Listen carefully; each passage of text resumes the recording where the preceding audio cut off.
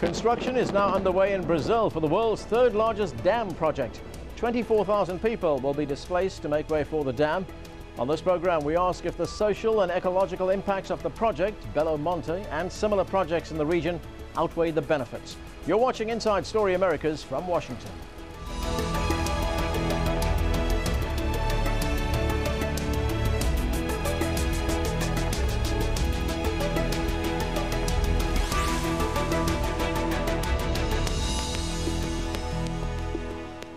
I'm Naidoo. Plans for a multi-billion dollar dam project on the Xingu River in northern Brazil have long been controversial.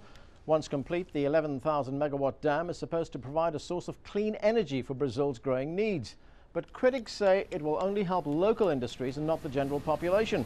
And some claim it will be one of the most inefficient hydropower projects in the history of Brazil. Until a few months ago, the future of the Belo Monte Dam seemed in doubt. The project faced a wave of legal battles and opposition from indigenous groups and environmental organizations around the world. About 400 square kilometers of the Amazon forest will be flooded to make way for the reservoirs. Environmentalists also point to the loss of biodiversity in the region and the risk of extinction of hundreds of species of fish in the Xingu River. But it's the social effects on the local population which frequently make the headlines. About 24,000 people are expected to be displaced to make way for construction. The consortium behind the project say the environmental impact will be minimal. Gabriel Elizondo visited the Belo Monte site as construction was starting. I've been covering this story for over five years, and I'm one of the first international journalists that's been given access to film the opening phase of the building of the Belo Monte Dam. There are already 5,000 people working here, but by the height of the construction at the end of 2013, there will be 20,000. The builders are so confident that they're already on schedule, they tell me that by the end of February of 2019, the entire project should be complete at a cost of around $14 billion. Now, indigenous rights activists and environmentalists they are still holding out hope for any last minute injunction that could halt any further construction here, or at least they want to call more attention to what they say are going to be the negative impacts of this dam. But as you can see, with each passing day, construction here continues. This is the community of Santo Antonio. It's more than 30 years old and it's more than 60 families that used to live here. But it's right in the path of the construction zone. Just over that hill is the Rio Xingu, and less than a kilometer in this direction is a construction site. The construction company has been negotiating with these families to pay them to relocate, and more than half have already left. The construction company building Belo Monte is offering compensation to people that own homes in the construction area. And as soon as these families leave, this is the end result. The house is destroyed. The construction company puts up a sign that says they now own this area and no one else can enter. The cemetery here has also been closed, and anyone that wants to claim the remains of any loved ones can do so and move them to another location. But already every tombstone has been marked by these sticks that say UHEBM, which stands for Hydroelectric Dam Belo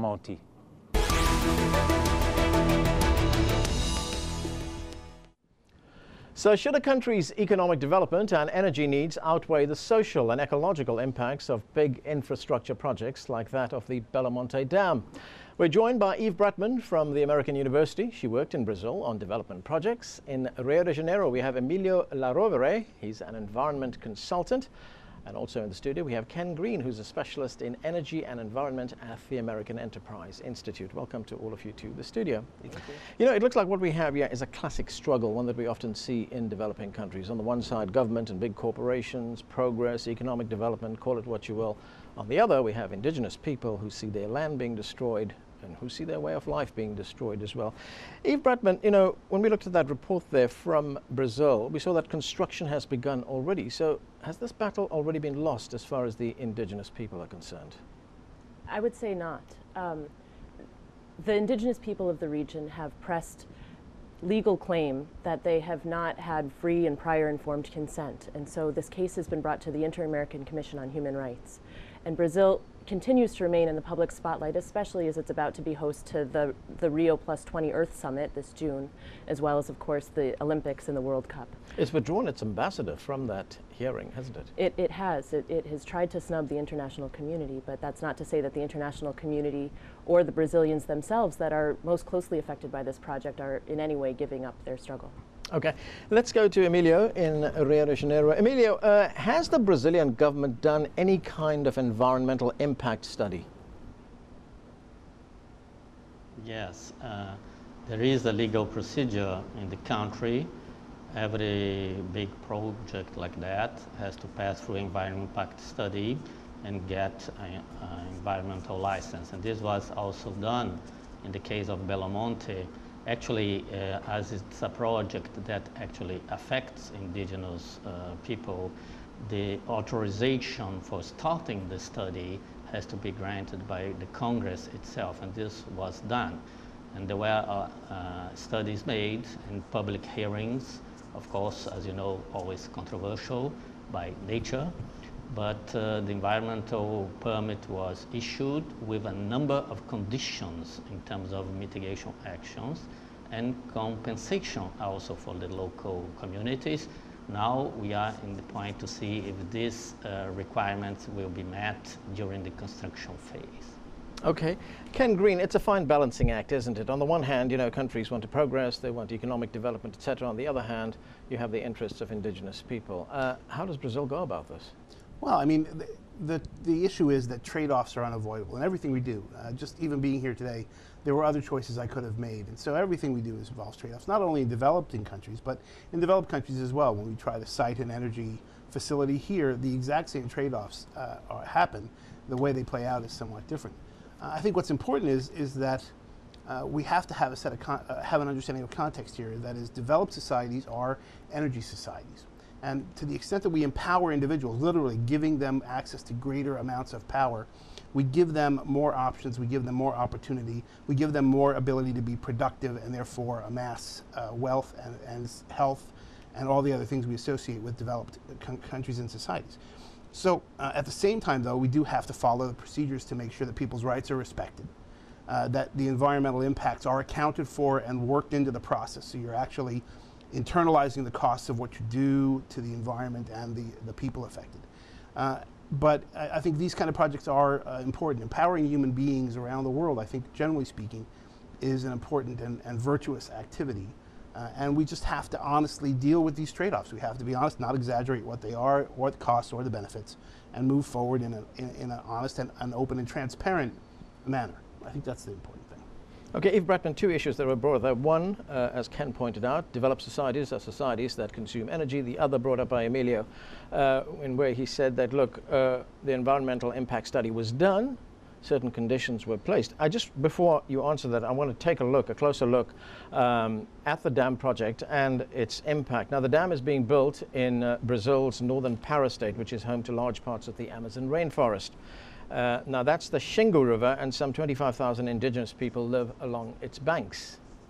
One indigenous group, the Pakikamba, live downstream from the main dam. If the dam is built, the normal flow of the river would shrink significantly. The Pakikamba say their fish stocks would be severely depleted. Those are just some of the impacts we know, but there's obviously going to be long-term impacts as well, right? Absolutely. And, and I think to Ken's point about transparency and openness, as well as to the point on, on the environmental impact assessments, it's really important to get some of the myths and the facts straight about this dam. First of all, the dam didn't pass the first environmental impact assessment that was done. And many officials uh, and people close to the administration at local levels within the environmental agency um, have charged the Brazilian government with ousting the people within its own environmental agencies as well as within the indigenous agencies for um, not putting the rubber stamp, as it were, on the environmental impact assessment. And so one of my main concerns is that the people that are closest to this project have ultimately not had uh, a full consultation or even a, a, totally legitimate environmental impact assessment done because the federal government is so gung-ho about moving forward with this project. Uh, another fact to, to clarify is that the Brazilian government forecasts that this dam is only going to cost them $8 billion when most studies of these large infrastructure projects show that they tend to cost at least twice that. Some analyses of the Belo Monte project have projected that it's going to cost at least $16 billion.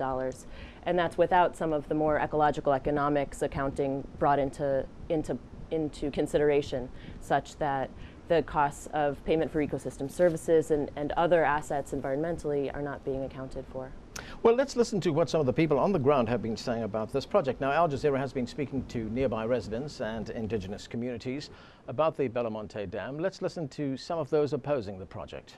We're against Belo Monte because it's not viable for our community and it's not a model of development that we want. For us, the dam will have a big negative effect and no benefits. It will produce energy for others, and we will be left with the damage. Belo Monte is tearing apart our community and kicking us out of here forcefully. We have no option. Uh, so, Emilio, there, were, there, are the voices there of Brazilian people on the ground opposing this project. Uh, it would seem, when one looks at it from the outside, that the Brazilian government has not exactly been acting in good faith. I mean, why did they withdraw their ambassador to this Human Rights Commission, which was going to look into and investigate the impact that this uh, dam would have on people living on the ground there?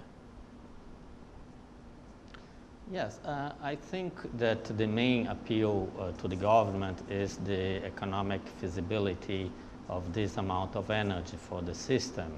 Uh, it's very hard to tell uh, uh, if the government uh, is acting in, in, in, bad faith. I, want, I wouldn't say that.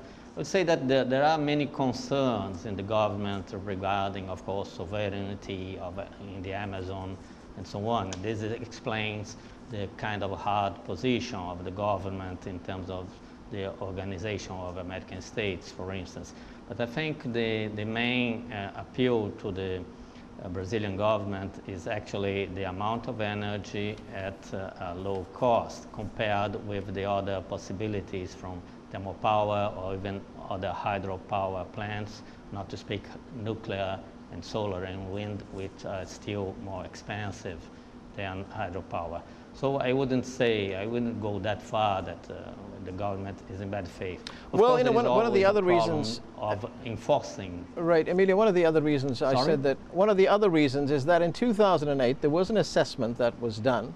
Uh, it so happened that the people who, may, who were in the, in the administration at the time, who agreed that there were serious concerns raised by the construction of this dam, were removed from the administration. Well, uh, I think there are uh, always problems in terms of uh, the respect of the minority. It is always a drama for people, as you mentioned, the cemetery that has to be removed. The important thing, uh, I think, is to have a democratic uh, process that gets the, the majority of people happy with the outcome of actually building the project. Now, in the construction phase, it's very important to enforce the regulations, the environmental permits, and also all the conditions put forward for the respect of the minorities. It's also important to say that the region is very poor. It's not like you're going to a paradise and then you are destroying a paradise. The 4,300 families that will be displaced live in very bad conditions, very low income, very precarious houses, and so on. So uh, the big challenge actually to make this project or any other big project in developing countries, and particularly in the Amazon, as an opportunity for local development. There are a number of uh, economic compensations and uh, if the resources that will be generated by this project that will go to the state of Pará and will go to the municipalities are well used, of course, this will translate into development opportunities to the people living there.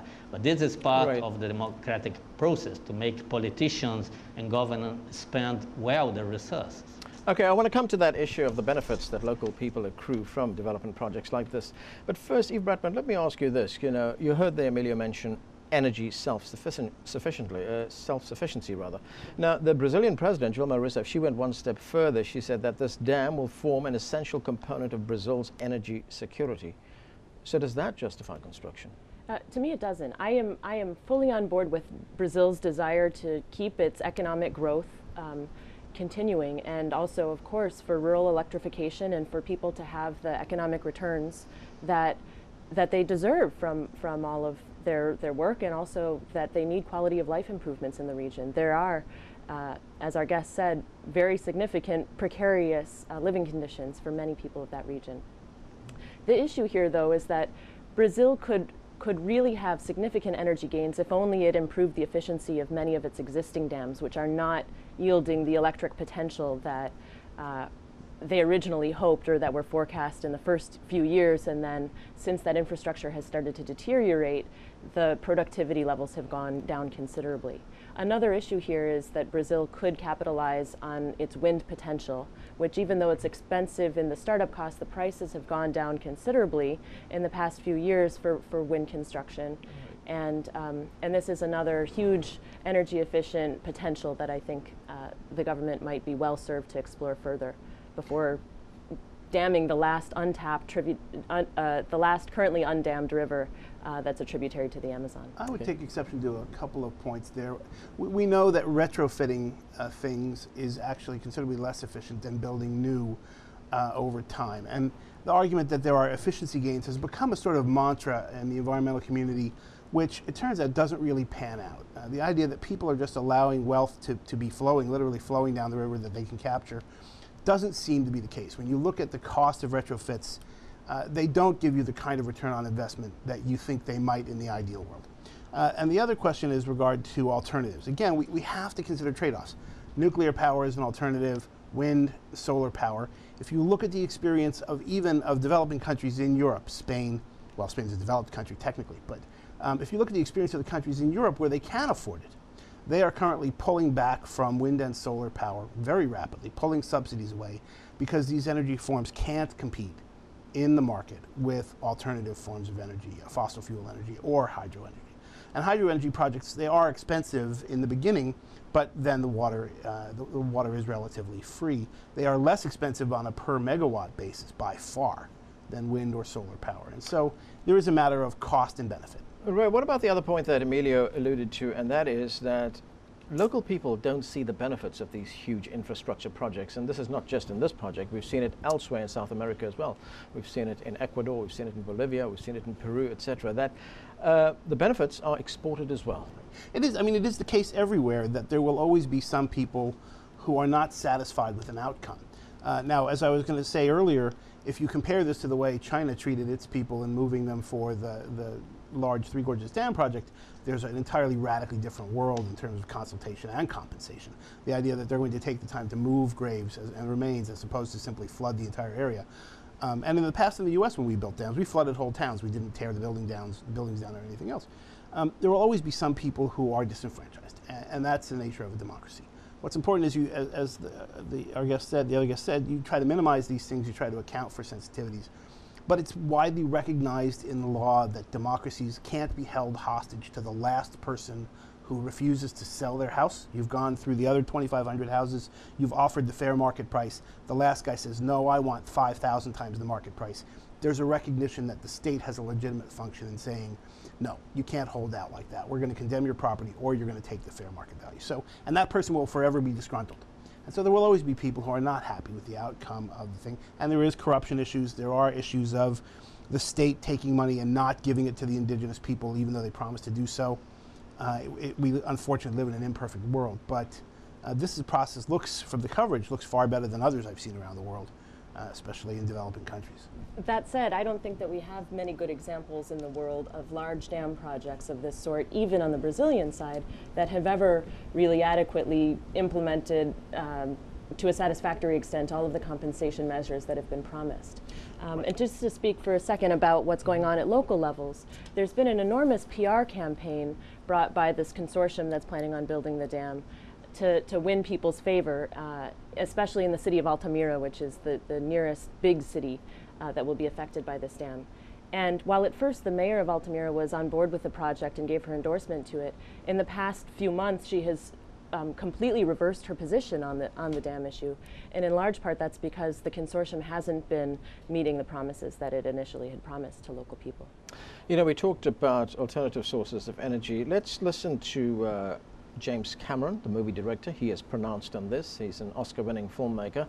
Uh, now, he made a movie which was called A Message from Pandora about the battle to stop the Belo Monte Dam. Let's listen to what he told Al Jazeera, and he said this uh, in 2010. Let's watch. You got people in Sao Paulo saying, we are having blackouts, we're having brownouts, we need energy. Um, the energy from this dam is not going to them.